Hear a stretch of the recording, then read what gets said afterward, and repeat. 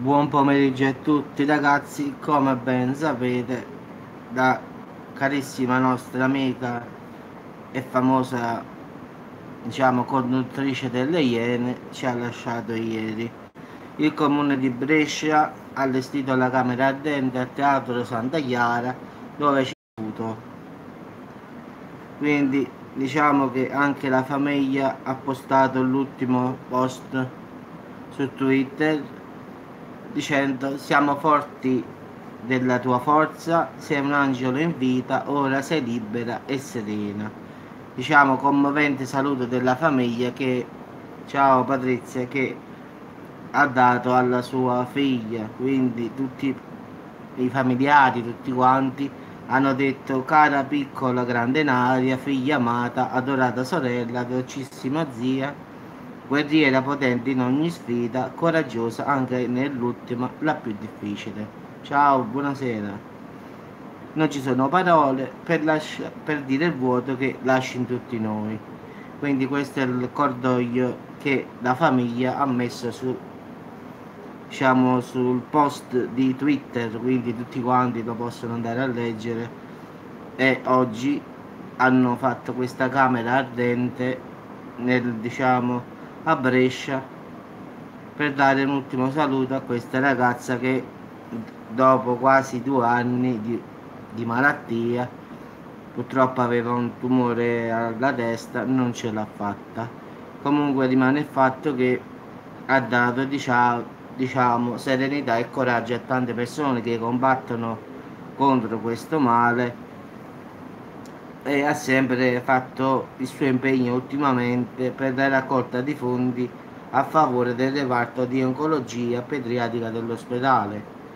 Quindi buonasera Domitilla. Quindi diciamo che negli ultimi due anni di vita che ha avuto si è dato molto su questo tema che l'ha presa di prima persona. Quindi diciamo che una persona speciale che se ne va a 40 anni ragazzi.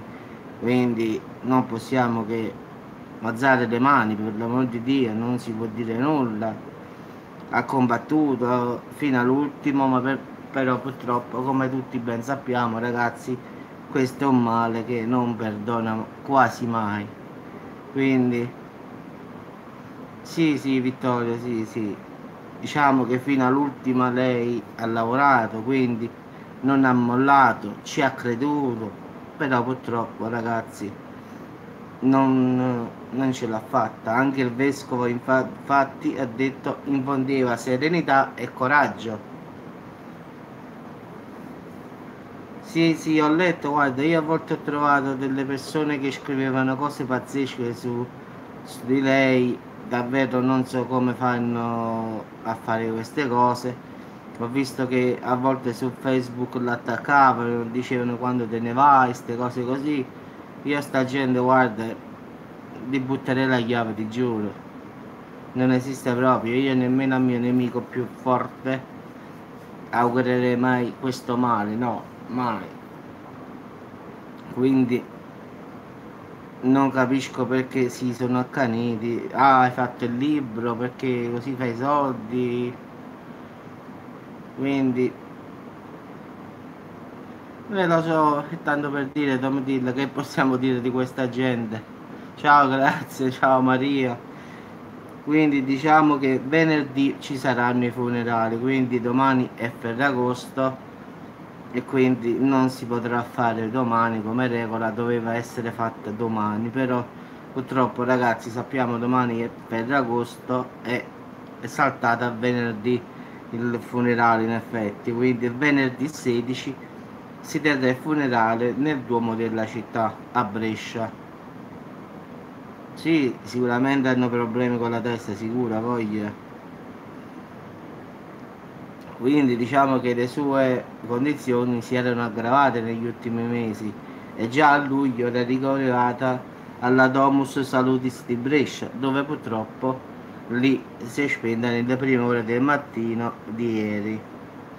Quindi ragazzi che possiamo dire di questa ragazza? Ha dato tanto per le iene che ha lavorato. Io mi divertivo quando andavo a vedere scovare sa queste cose. Però e doveva andare così ragazzi. A volte credo che come diceva pure lei ognuno ha una sfida nella vita da fare. Poi dipende la sfida sta chi la vince chi la perde lei anche se l'ha persa ha fatto vedere che nonostante ha perso comunque ha combattuto fino all'ultimo. Quindi diciamo ha dato anche un esempio a tutte le persone che sono malate che non si devono arrendere devono combattere tanto.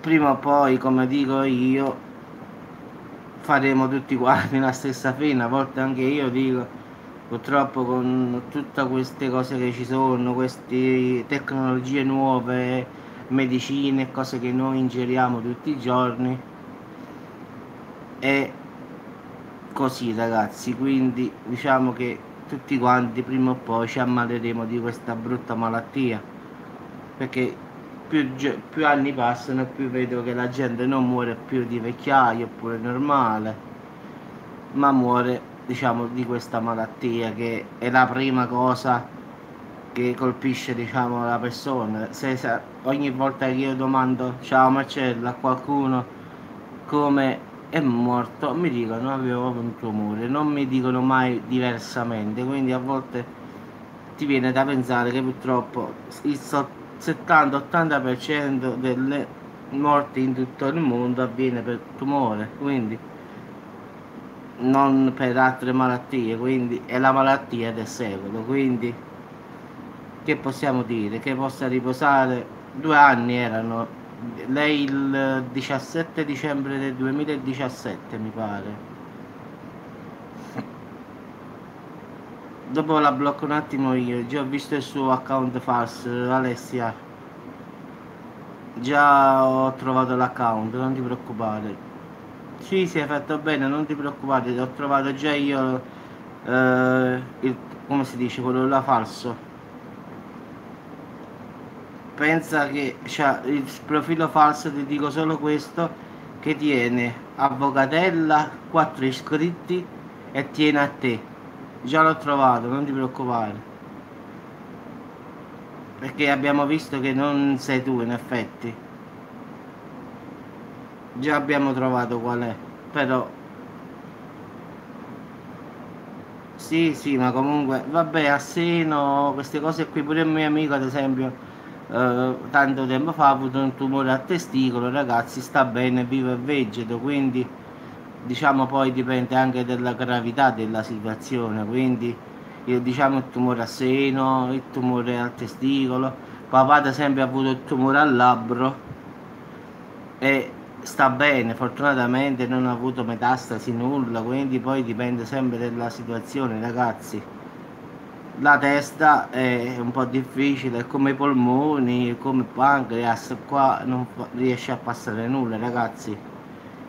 Quindi io ho avuto un amico ultimamente che l'aveva a fegato, ragazzi non c'è stato santo.